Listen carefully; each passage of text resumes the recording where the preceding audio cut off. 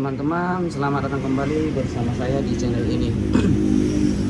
Nah, di sini satu unit televisi merek Samsung dengan ukuran 32 inch. Dengan kondisi atau keluhannya mati total. Nah, di sini bisa kita lihat ada indikator. Dan di sini sudah saya buat kayak steker listrik tapi belum saya cetek ya. Di sini kita cetek, kita bisa lihat di sana indikatornya apa ada atau tidak. Nah, ini sudah saya cetek dan indikator belum ada ya. Nah, ini kita tekan tombolnya ada di bawah sini. Betul-betul mati total. Oh itu. Oke, ini penampakan belakang televisinya. Dan serial numbernya UA32FH4003. Keluhan mati total. Nah oke okay, untuk pemeriksaan sekarang langsung kita bongkar back cover televisi unit Samsung ini. Ini saya menggunakan por tangan ya. Jika kita menggunakan oven akan memakan waktu yang cukup lama. Kita buka scannya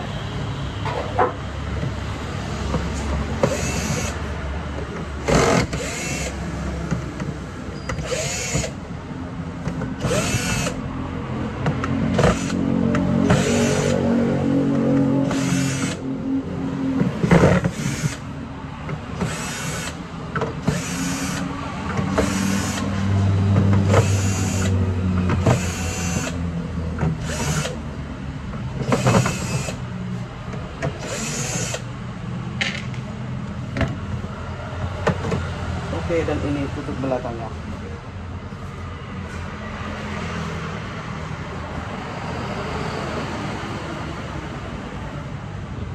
Di sini penampakan engine televisi Samsungnya.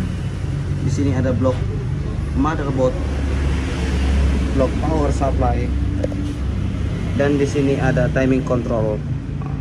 Ini dia jadi untuk keluar mati total ini biasanya kita langsung pertama itu cek ke power supply. Untuk Samsung ini biasanya kalau power supply normal backlight akan menyala tanpa motherboard. Oke. Di sini kabel sudah saya cetak dari listrik.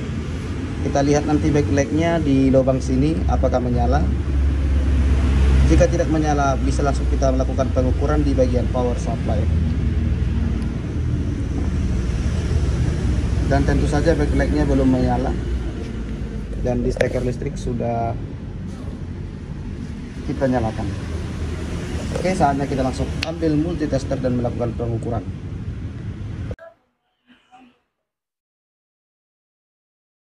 Oke, di sini sudah saya sediakan multimeter digital. Kita selektor di ACDC. Jadi yang pertama kita ukur itu di bagian primer di elko 450 volt. Ini masih masih posisi hidup seperti awal kita buat tadi ya. Sini biasanya berisi tegangan di 290 volt.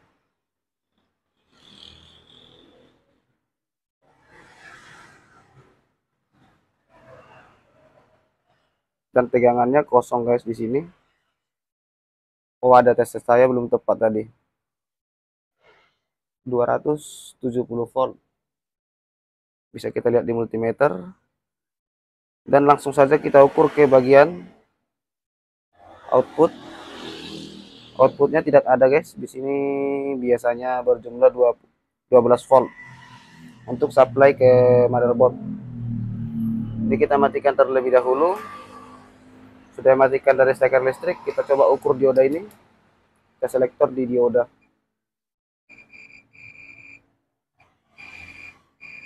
Lantas saja televisi ini mati total karena dioda ini short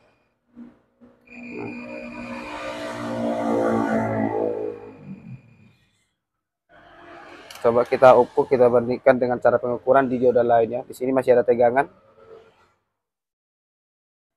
kita akan buat perbandingan mengukur dioda yang bagus sama yang rusak coba saya ambil di power supply lain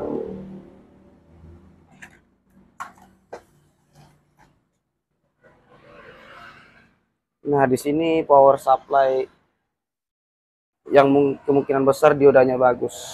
Ini kita selektor lagi. Nah, ini diodanya bagus. Jika min ke min di sini tertulis 0,39 VDC. Jika menggunakan digital ya. Ya, jika min ke plus dia tidak akan berjalan apa-apa. 0,3 sedangkan di sini sudah shot langsung nah oke okay, sekarang coba saya langsung mencari pengganti dioda ini guys ya nah oke okay, jujur saja saya tidak pernah beli untuk dioda dioda untuk jenis ini ya. Saya biasanya pakai dari bekas-bekas biar tetap 0 rupiah. Nah, ini saya menggunakan dioda yang tiga kaki langsung ini. Dari power supply bekas. Ini saya copot saya langsung pasang ke sini. Ini saya copot terlebih dahulu untuk dioda ini ya. Dan saya akan pasangkan langsung ke dioda yang short ini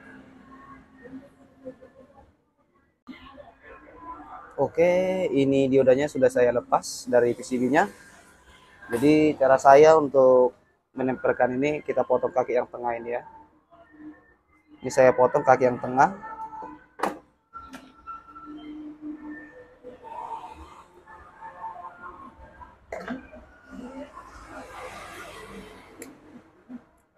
Ini tadi dari jalur 24 volt, dia lebih kuat.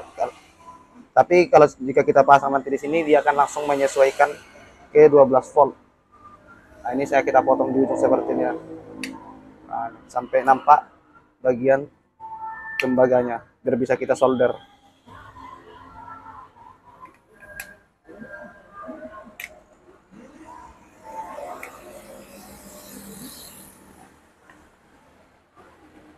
memang keras ini kalau dipotong guys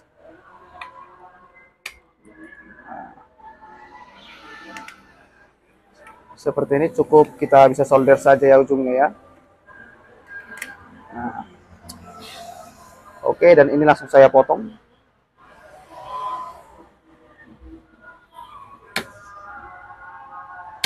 hmm.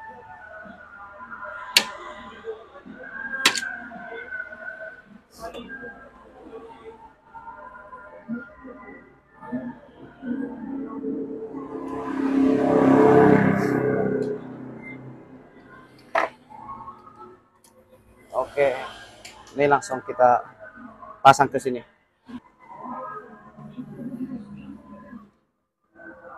Yang pertama di sini kita kasih timah dulu di kakinya.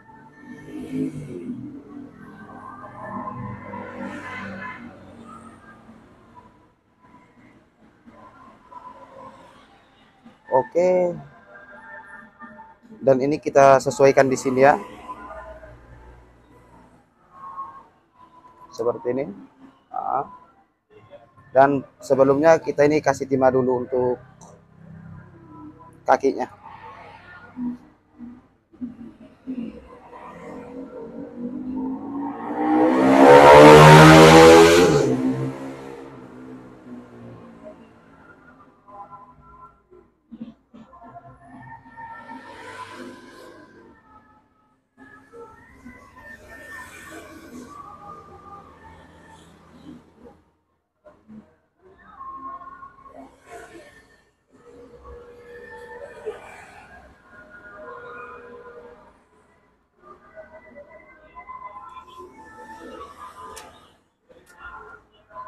dan langsung saja kita tempelkan di kaki dioda ini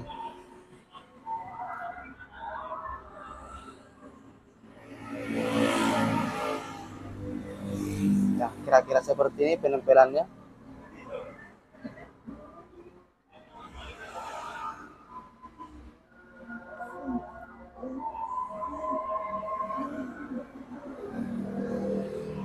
Oke, ini kita rapatkan lagi ya.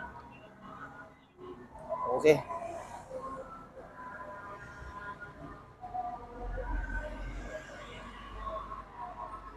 Oke, sudah menempel. Sekarang kita tinggal melakukan pengetesan. Tapi sebaiknya ini dioda kita dinginkan terlebih dahulu ya. Karena itu akan sangat panas habis disolder. Saya dinginkan pakai ini pendingin.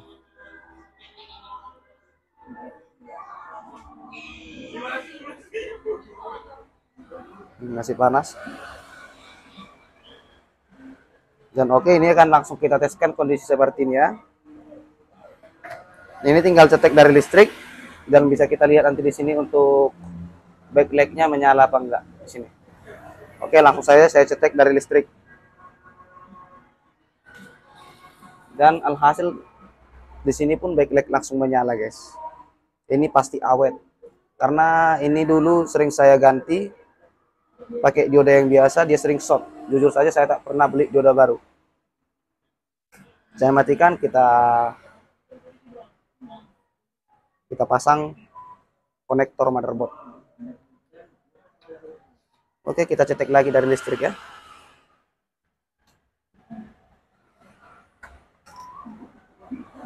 Indikator sudah menunjukkan lampu merah kita power on